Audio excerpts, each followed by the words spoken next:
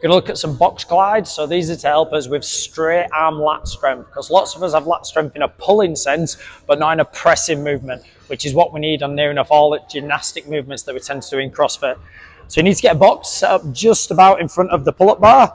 From here, I'm going to hang from the bar. I'm going to press hard with my arms straight, which is going to bring me back behind the rig, and my feet are going to slide up the box. So it's going to look a bit like this.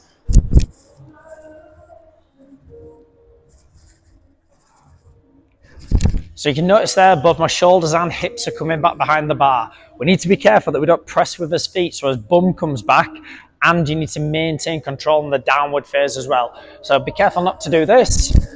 Pushing with your feet and your bum goes back because there I'm not really getting any lat strength, which is what we're after.